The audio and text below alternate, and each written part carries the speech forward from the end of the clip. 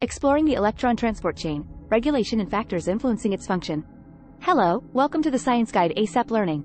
Today we are going to be speaking about the electron transport chain.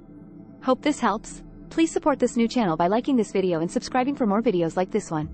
The electron transport chain, ETC, is a crucial metabolic pathway that occurs in the inner mitochondrial membrane of eukaryotic cells. The pathway plays a critical role in cellular respiration, the process by which cells generate energy in the form of ATP. In this video, we will explore the steps of the ETC in detail, as well as other important information related to the pathway. The ETC is a series of electron-transporting protein complexes and electron carriers that facilitate the transfer of electrons from NADH and FADH2, which are produced in the Krebs cycle, to molecular oxygen, O2, which is the final electron acceptor. The transfer of electrons results in the generation of a proton gradient across the inner mitochondrial membrane, which is used to power ATP synthase, the enzyme responsible for ATP synthesis. Step 1. Complex I, NADH dehydrogenase. The first complex in the ETC is complex I, also known as NADH dehydrogenase. This complex receives electrons from NADH and transfers them to coenzyme Q, CoQ, also known as ubiquinone. As electrons are transferred, protons are pumped across the inner mitochondrial membrane from the matrix to the intermembrane space. Step 2, Complex 2, succinate dehydrogenase. The second complex in the ETC is complex 2, also known as succinate dehydrogenase. This complex receives electrons from FADH2, which is produced in the Krebs cycle, and transfers them to CoQ. Unlike complex I, complex 2 does not pump protons across the inner mitochondrial membrane. Step 3, coenzyme Q, ubiquinone. CoQ, the electron carrier that receives electrons from both complex I and 2, passes electrons to complex 3. Step 4, complex 3, cytochrome BC1. The third complex in the ETC is complex 3, also known as cytochrome BC1. This complex receives electrons from CoQ and transfers them to cytochrome C, a small mobile electron carrier that is located on the outer surface of the inner mitochondrial membrane.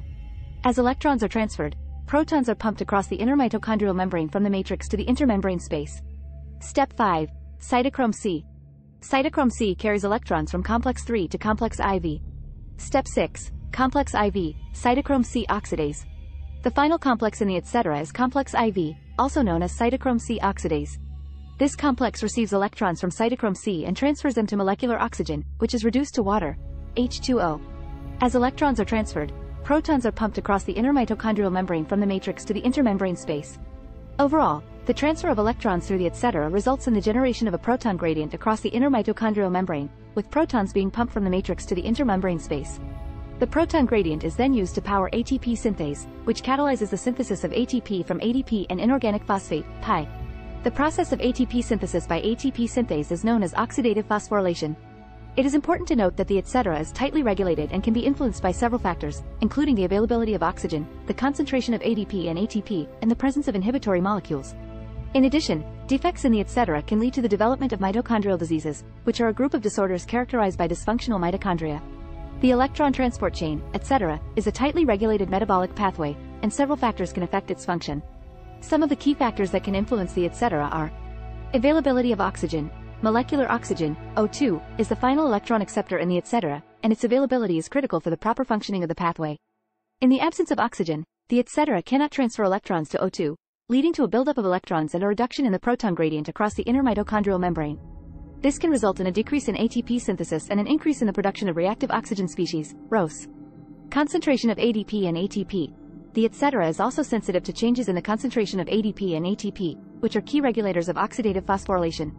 When the demand for ATP is high, the concentration of ADP increases, stimulating the ETC and the production of ATP. Conversely, when the demand for ATP is low, the concentration of ATP increases, inhibiting the ETC and the production of ATP. Proton gradient. The proton gradient across the inner mitochondrial membrane is a critical factor that drives ATP synthesis. Changes in the proton gradient can affect the activity of ATP synthase and the rate of ATP synthesis. For example, a decrease in the proton gradient can lead to a reduction in ATP synthesis, while an increase in the proton gradient can result in the production of excess ROS. Inhibitory molecules, the ETC can be inhibited by various molecules that bind to the protein complexes and disrupt electron transfer.